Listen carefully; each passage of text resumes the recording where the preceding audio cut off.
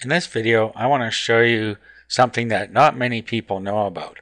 And that is that if you're using a custom image, you are breaking the secure socket layer on the PayPal purchase screen.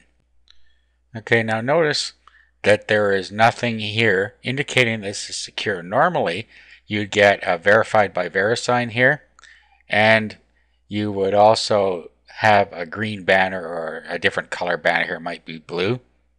Okay, and we're not seeing that. So what we need to do is go and fix that. Okay, so first of all, let's save this image onto our computer somewhere if you don't already have it saved.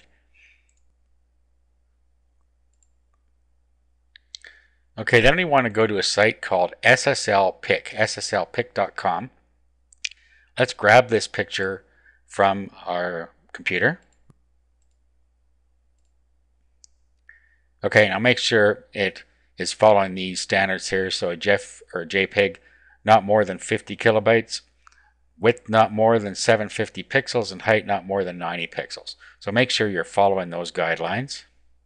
You can find that out just by going to your picture here, going to properties, then go to details, and you'll see here we're 750 by 90, and under general we're 23.2 kilobytes.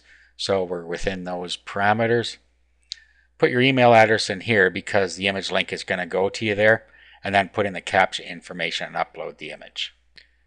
Okay, and then it says here your image has been uploaded and the link has been emailed to you.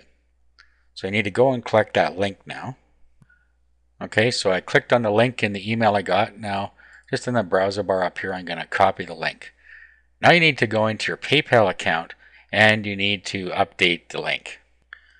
Okay, so what you need to do is log in and go to My Selling Tools, and then you need to go to Custom Payment Pages, click Update. Okay, and then you'll have any in here. Now, you would be updating since you have already a custom image that you need to change. So this is the one I need to update here. So let's change it. Okay, and then all we need to do is go to where this link is the header image URL and paste in the secure, secure URL that we just got and save. Now that's it. We'll log out and then we're going to go back to our shopping cart and test it out.